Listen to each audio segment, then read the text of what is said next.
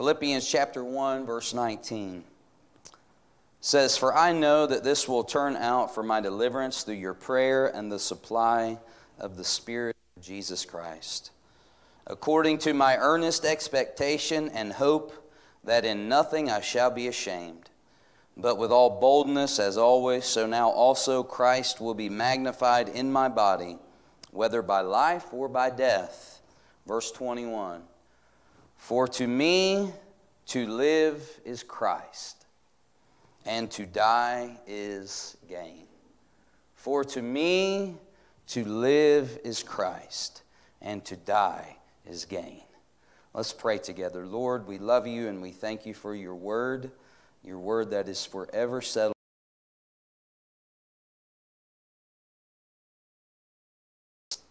Sure and steadfast, an anchor for our soul. And Lord, today as we look into your word, I pray for you, Holy Spirit, to anoint us. Anoint us, God, that we may understand, that we may God, that revelation and illumination may come as we look at your word together.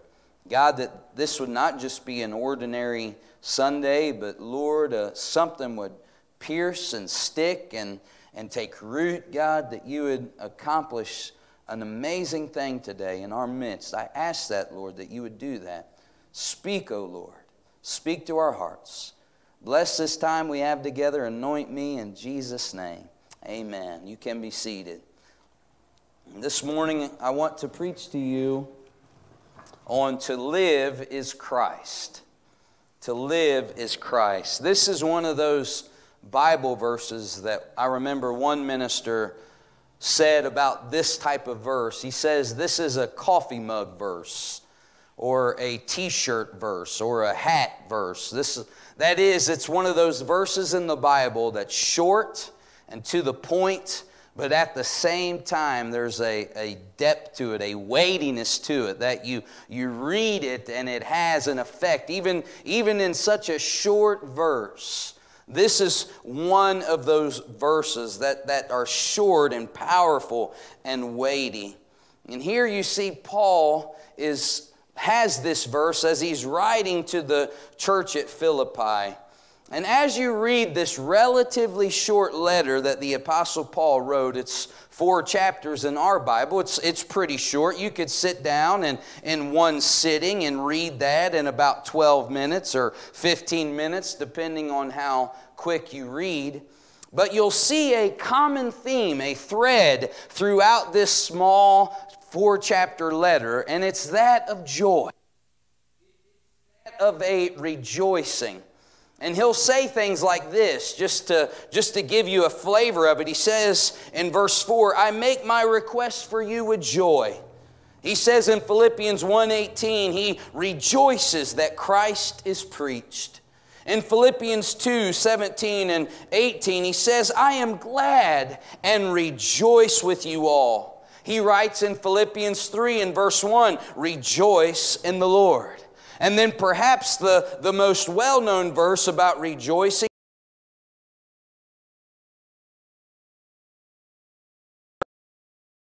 Again I say, rejoice. He says here, Rejoice in the Lord always. Again, I say rejoice. And you see this theme of joy, of being glad. Of he'll make a statement and say, I am glad. And I, and I want you to realize that this, this is not coming from somebody that is on vacation, right?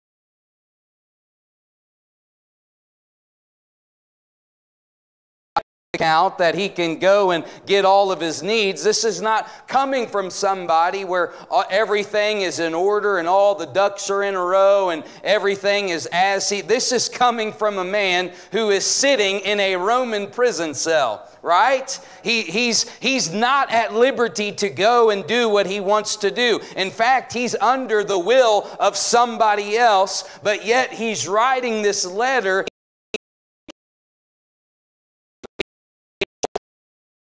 And he'll say, I am glad. Not only was he a prisoner, but he was a prisoner unjustly, right? that he should not have even been there, that if it was, if it was a just circumstance, he would have been free already. He, he would not have had to be where he is at.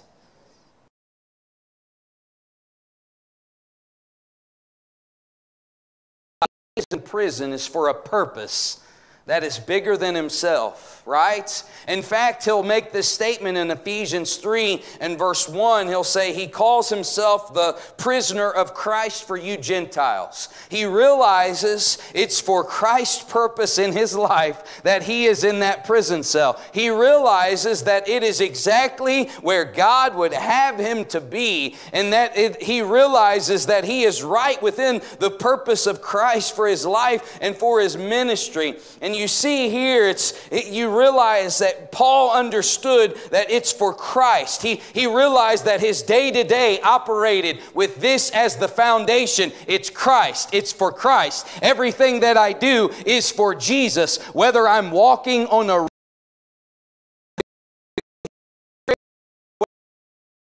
prison cell, it is for Christ. My entire life functions for this one name, Jesus.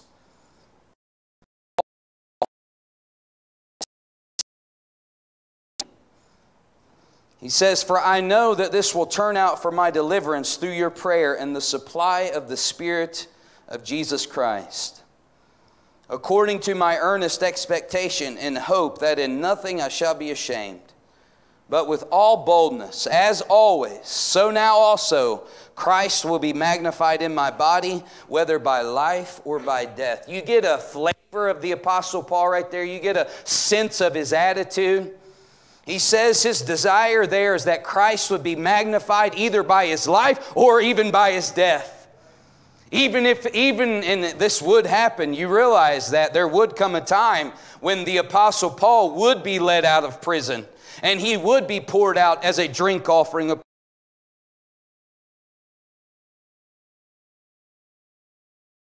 the dominion of Nero, the emperor, and he would be taken out and his head would be taken off right? He would, he would seal his faith with his own blood.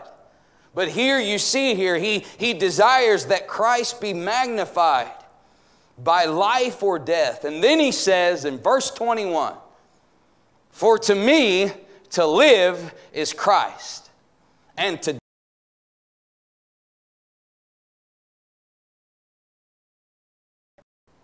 He makes this statement and he says, for to me.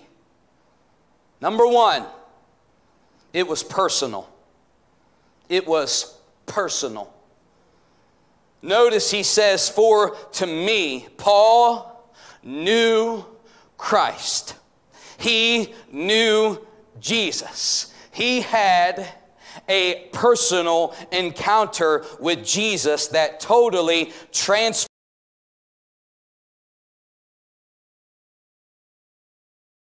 him, literally, literally took him from one direction and turned him to a different direction. He, he had an encounter with Jesus Christ. He, he realized this morning, he, Paul realized that this was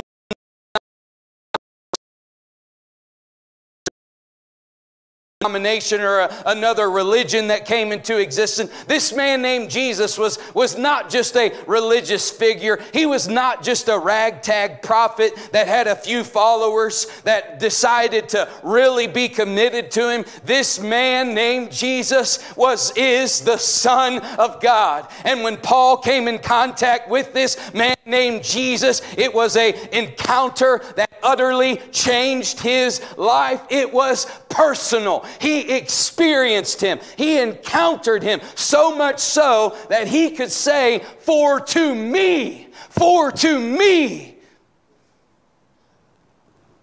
It was personal.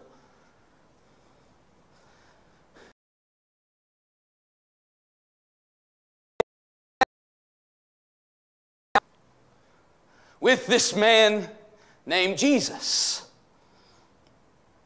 Is it personal? Is it more than just the saying of a creed or the reciting of a catechism? Is it, is it more than just saying, well, my mom was close to this man, or my grandpa knew him, or my family members, they, they, there were a few of them that, that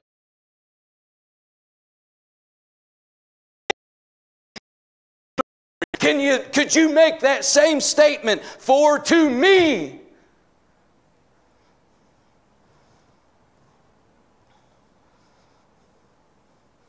Paul would say things like, I know whom I have believed.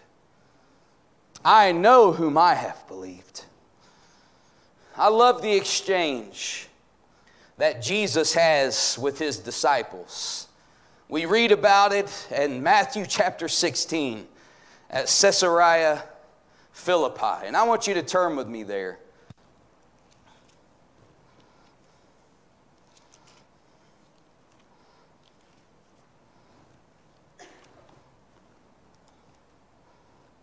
Matthew chapter 16, verse 13.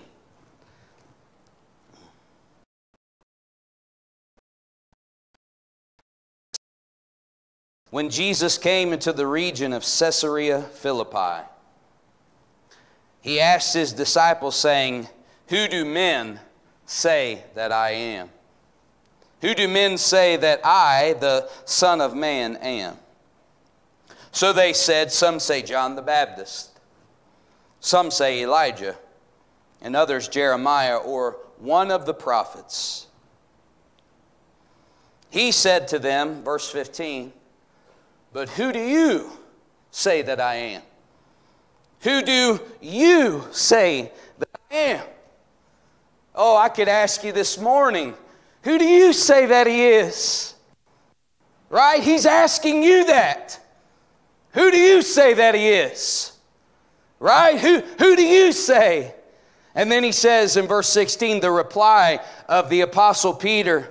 He says, Simon Peter answered and said, You are the Christ the Son of the living God. He confesses that you are the Christ, the Son of the living God. It was personal. He knew him. And I want to say to you today can you say that? Can you make that statement for to me? Is it a personal thing? Who, who do you say that Jesus is? Who do you confess that he is, right? Is he just another religious figure? Is he just a prophet? Is he just some figurehead that left us a good example in the past that people can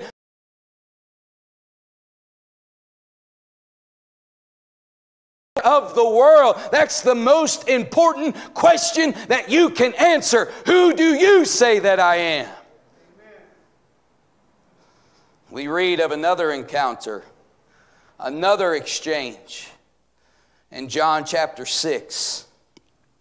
Now, I want to say to you that Jesus did not have a hard time saying hard things. He didn't. He didn't have a hard time speaking the truth, even to people that did not want to hear the truth. If you read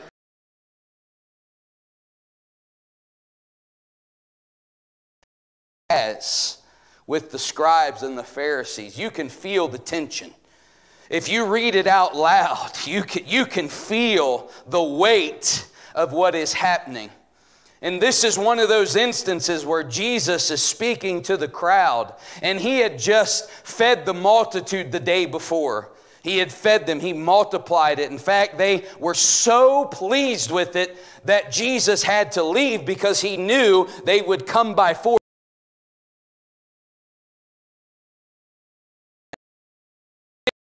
The Sea of Tiberias and they come searching for him. And then he goes through this narrative where he says to them, You are searching for me because you ate the loaves and the fish. And then he goes through the I am the bread of heaven, I am the bread that came down from heaven. He who eats of me, he unless and then he makes this crazy statement that they could not handle. And he says to them, Unless you eat my flesh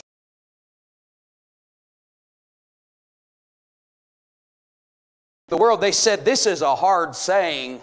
Who can, under, who can understand it? This is a hard saying.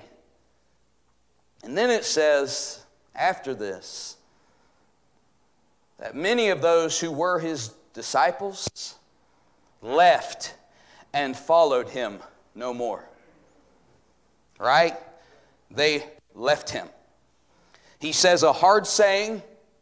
Man, there's a sermon right there. He says a hard saying.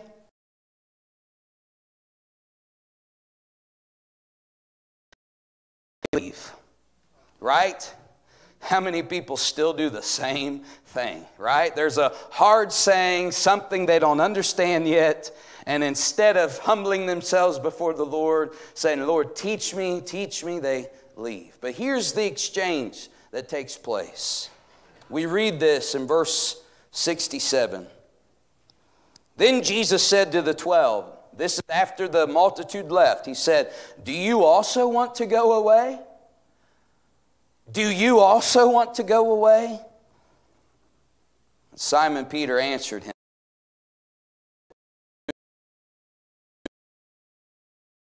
Of eternal life. And look at what Peter says in verse 69. Also, we have come to believe and know.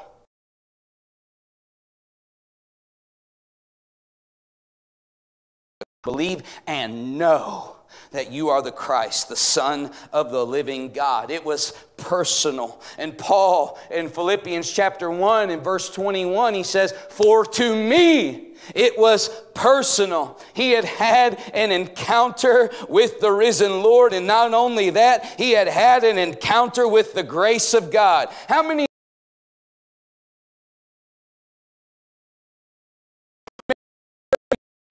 You don't deserve it, but God has shown it to you, revealed it to you. Amen. And it utterly changed your life. Grace. Paul had an encounter, so much so that he could say, but beyond just a statement of doctrine, and thank God for doctrine, beyond just a statement of a creed,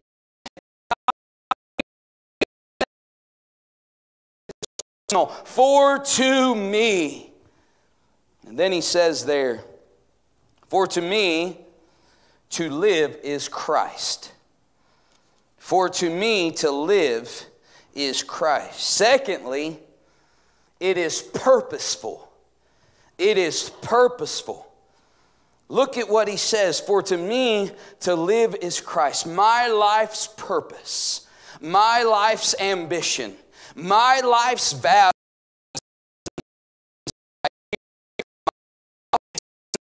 by my current circumstances because my life is Christ. My worth is not in what I own, nor in the strength of flesh and bone, right? Amen. It's not in any of those things, but it is found in Jesus Christ. My worth, who I am as a human being, it finds its value, its purpose, and its function not in what I do, not in the way that I look, not in my house,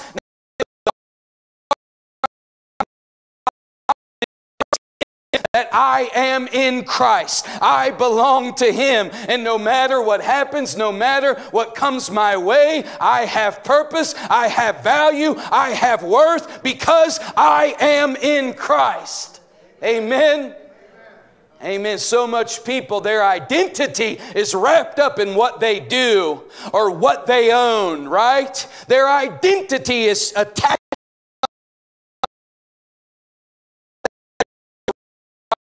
they are anymore. They don't know what they're doing anymore, right? But if you are in Christ, you can be sitting in a prison cell. You cannot even have freedom and then say, My life is Christ. For to, for to me to live is Christ. Christ. Here we see, look at how Paul's life was lived. He says,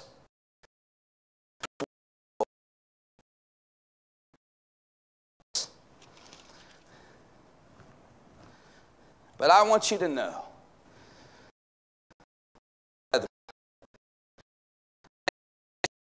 me have actually turned out for the furtherance of the gospel.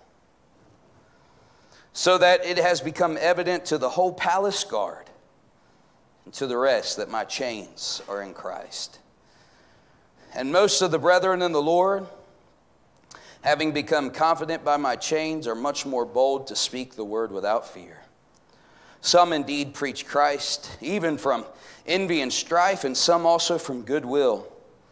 The former preach Christ from selfish ambition, not sincerely, supposing to add affliction to my chains, but the latter out of love, knowing that I am appointed for the defense of the gospel. What then? Only that in every way, whether in pretense or in truth, Christ is preached. And in this I rejoice. Yes, and will rejoice. What does he say there?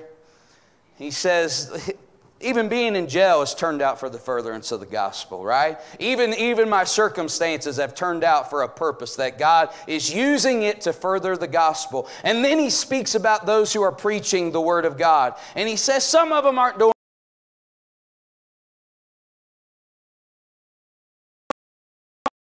motive, the right foundation for why they're doing it. Some people do, but what does he say at the end of the day? He says, I, I rejoice because Christ is being preached, right? People are hearing about Jesus. So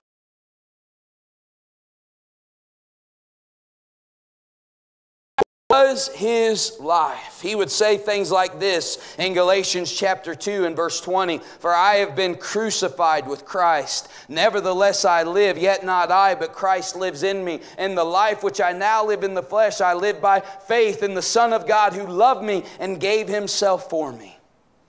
Christ. Verse 7, he says, of chapter 3, but what things were gained to me, these I have counted loss for Christ. Yet indeed, I also count all things lost for the excellence of the knowledge of Christ Jesus my Lord, for whom I have suffered the loss of all things and count them as rubbish, that I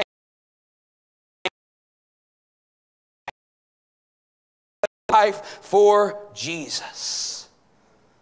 And you see this morning, we have purpose in Christ. We aren't just sacks of water right? That walk on this earth for 80 years and die to be eaten by worms. Right? That's a pretty bleak outlook. You talk about a worldview that's not a Christian worldview, you can have that worldview.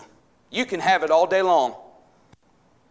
With that worldview out there, why not just have all the pleasure you want, right? Why not just do whatever the heck you want? Because there's absolutely no meaning to life, right? There's none.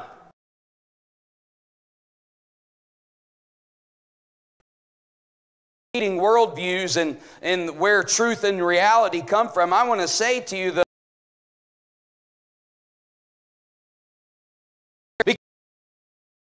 at the end of the day, you live a you live a just a short life. You work a monotonous job till you till you go to be eaten by worms. That, that's right. You do a you have a few cruises along the way. You go on vacation once a once a week out of the year, right? You watch a little TV, cheer for a football team, and then you die.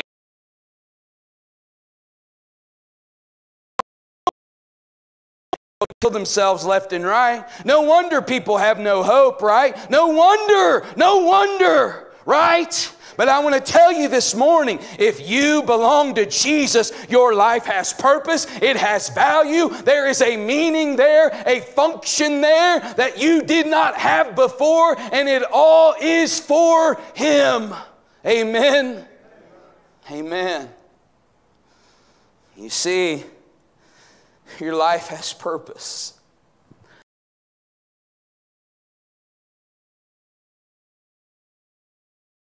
The King of glory stepped out of eternity into time.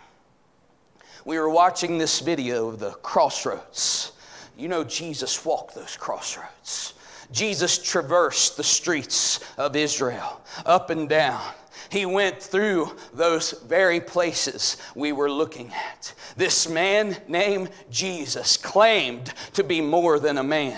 he had a, a group of followers come around him, right? And he went in Galilee and he traveled on a circuit through Galilee. Then he would make a trip for the feast down into Jerusalem and he would do signs in Jerusalem. And then he would go back into Galilee and continue his ministry.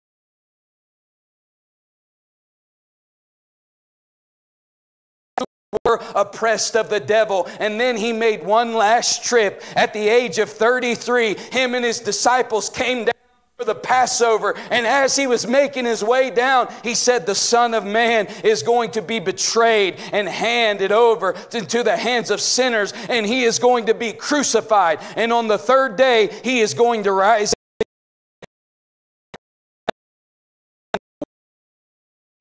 Right? But it happened just exactly as he said. While he was there, one of his very own sold him and sold him out for 30 pieces of silver. They came under the cloak of darkness and they grabbed him out of the Garden of Gethsemane and they took him in.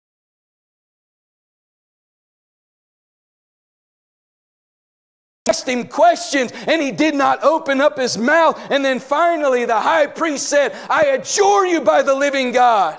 Tell us, are you the Christ? And he said, It is as you say, and henceforth you will see the Son of Man coming on the clouds of glory with power. Amen. And then the high priest, he rips his clothes, and then they delivered him over to Pilate. Pilate didn't even want to crucify him, Pilate didn't want anything to do with him, but the crowd around was saying, Crucify him, crucify him. So finally, him over. They lead him out, right? After they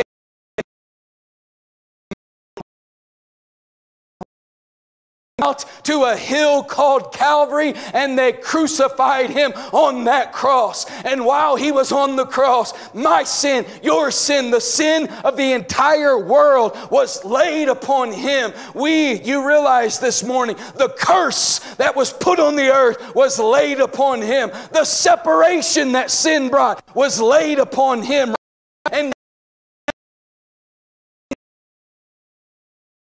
Back to God. The curse is lifted. All of these things are brought back to where they should be because of what He did. You see, this morning, life has value. Life has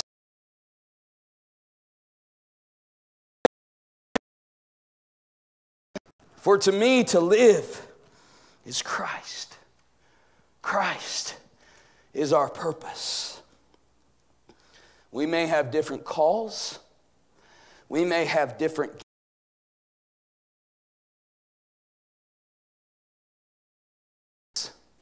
but Christ, Christ is our life. Christ.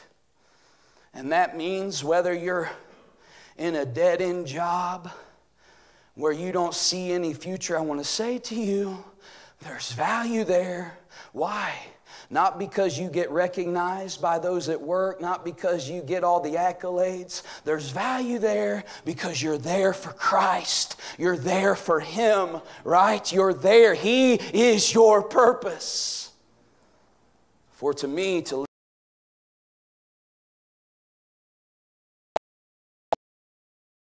died and your life is hidden with Christ in God.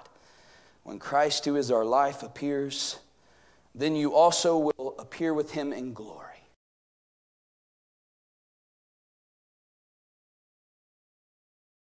And then look at the last part of that. To die is gain. It's, thirdly, it is perpetual. It is perpetual. For to me, to live is Christ and to die is gain.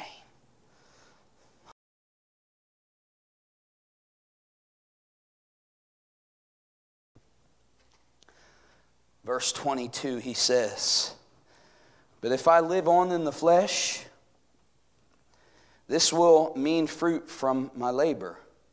Yet what I shall choose, I cannot tell. For I am hard pressed between the two, having a desire to depart and be with Christ, which is far better. Nevertheless, to remain in the flesh is more needful for you. He says he's not sure what he wants. He knows if he remains, there'll be fruit for his ministry, but it's to go and be with Jesus is far better.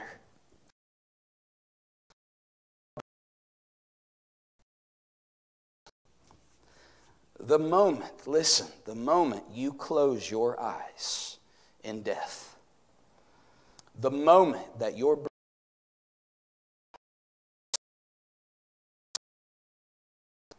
the moment that that takes place and the Lord says it's time, the, that moment, you are immediately in the presence of God.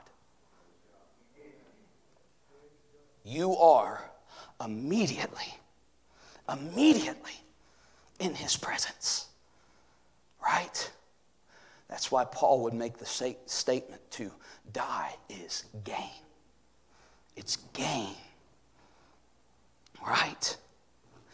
To die. He says in 2 Corinthians 5 and 8, and to be absent from the body and present with the Lord. Jesus said to the thief on the cross, This day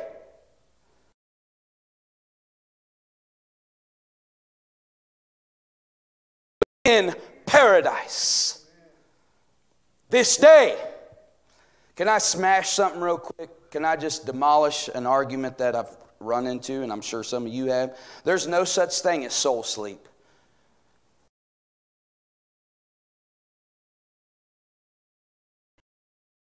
Say, well, when you die, you basically just go to sleep until the resurrection. You're unconscious, you're just in the grave. I want to tell you that is absolutely unbiblical. Right? The cults teach that. The cults teach that. Right? That's not Christianity. The moment you die, the moment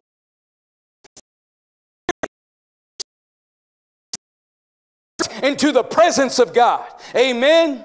Amen. The moment, that's, that's why, brothers and sisters, that's why if you choose to surrender to the call of God and you go over to somewhere where there's persecution and you go into the midst of it, right? And you say, Jesus can save you, and they kill you, uh, immediately you go into the presence of God. Amen. Instant death, instant glory. Amen. Instant death, instant glory. To be absent from the body, to be present with.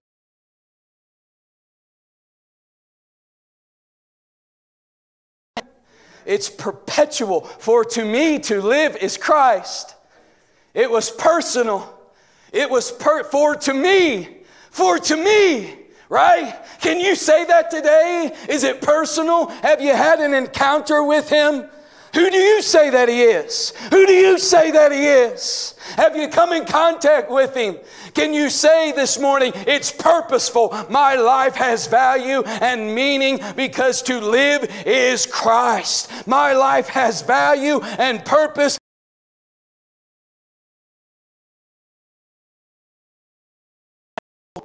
to die is gain. Amen. Let's stand this morning.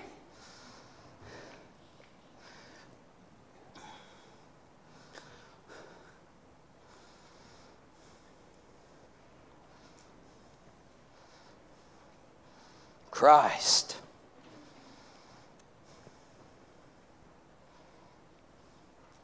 Christ. For to me, to live is Christ, and to die is gain. You know, if I, and we could talk about this later after I.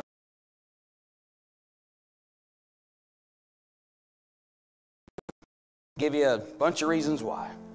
But if I ever got one, it would be this verse. I'm, I'm serious. If I ever got one, it would be this verse. Amen. For to me, to live is Christ, and to die is gain. Hallelujah. Can you say this morning, can you say, can you say that? It's personal. For to me, amen. Beyond the Thank God for Sunday school. Thank God for kids' church, right? Thank God for mamas and grandmas, and dads that brought us to church and all of that and all those good things.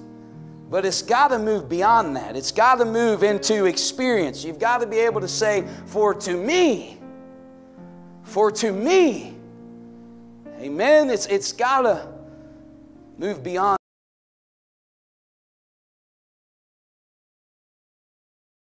Tell you God is not a liar. His word is true. Before we move on, and we're going to pray for something else, but before we do that, the Word of God says if you believe in your heart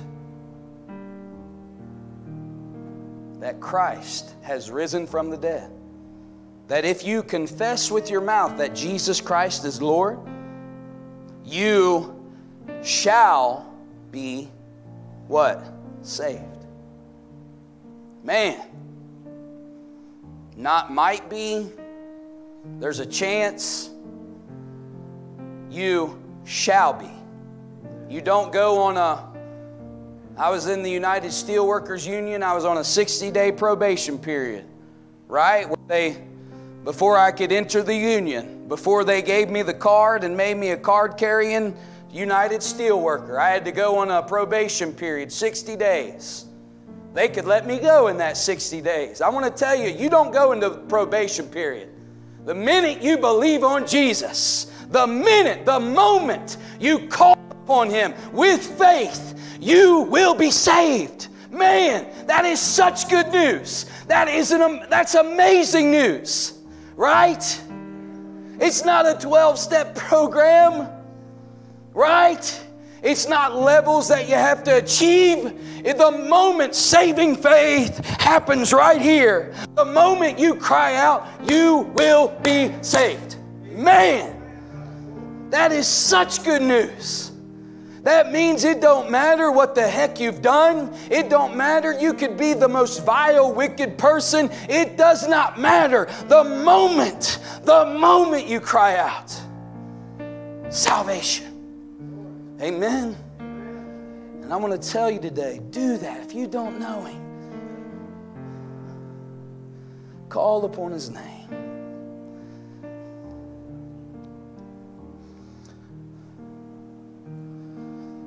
Lord,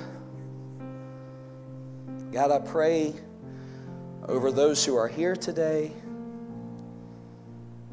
And Father, I pray, God, if there's someone here that can't say it's personal, I pray today, God, that you'd move on their heart, you'd reveal yourself to them, and God, that they would call on your name that they would call on their name, your name, that they would trust in you, that they would believe on you, that they may be saved. Lord, if there's someone watching online and they just randomly are, are watching with us and they've heard what I've said, I pray, Lord, that they would call on your name, that they would be saved, that you love them, you care for them their life has value, purpose in you. God, reveal yourself to them today. In Jesus' name, amen. Now, this morning, as a way of closing, as a way of closing, to ask that you would join me in this altar.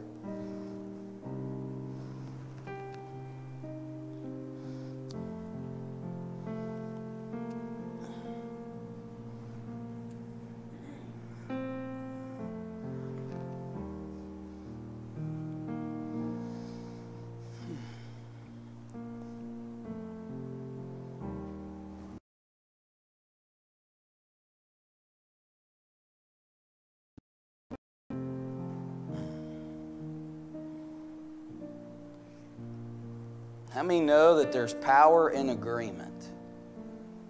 There's power in agreement. A threefold cord, right, is not quickly broken. There's power in agreement. If one or two of us shall agree as touching any one thing, it shall be done, right?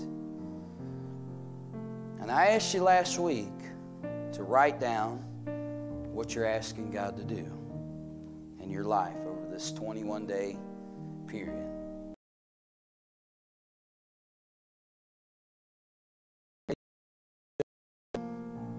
Husbands and wives, if you're near each other, make sure nobody's alone. Right? Make sure nobody's alone. But let's agree together in prayer. Let's take somebody's hand, lay somebody's lay our hand on somebody's shoulder. But let's agree together. Somebody get Sister Campbell over there. But let's agree together. And let's ask God to move. And those petitions that we've presented before Him. Let's pray together. Lord, this morning we come to you in agreement as a church, as the body of Christ. We are in agreement, Lord. And God, we need you to move in our life. We need you to move in specific areas in our life, God. Lord, there, there is someone here I know, Lord, that needs direction. And so, Father, in the name of Jesus, I pray that you would order their steps, that you would direct them. I pray, Lord, that there would be a confirmation, a confirmation with peace a confirmation of maybe another witness to bear witness to it, God. I pray, God, for there to be a confirmation on, on your leading in their life. Lord, I pray for those who are praying, Father. They're praying and they're lifting up a prodigal before you, Lord. They're lifting up somebody that has gone away from you, God. And Lord, we know, we know we cannot change a heart. We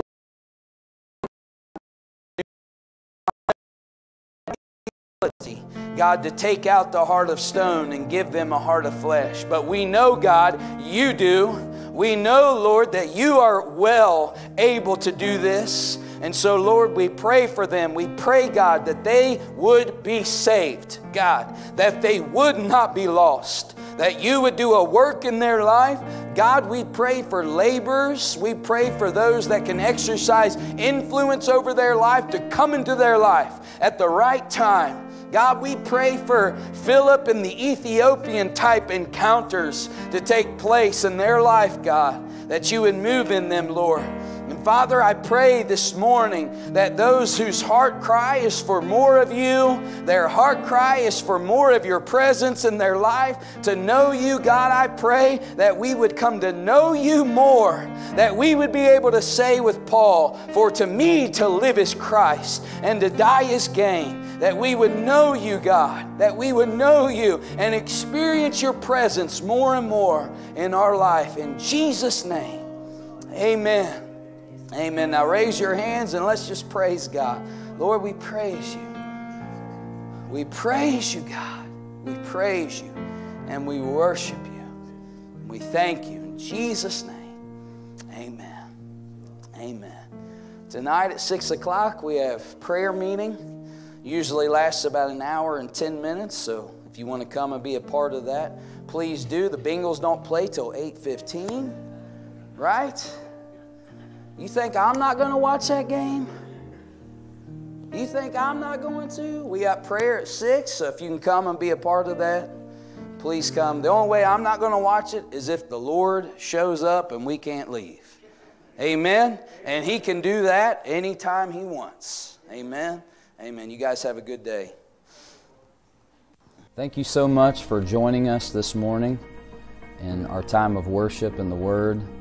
And I would encourage you if you need anything, if you need prayer, or whatever you may need, we are here for you. And I want to personally encourage you to reach out to us with any prayer request or, or questions that you may have about the Lord. Thank you and have a blessed day.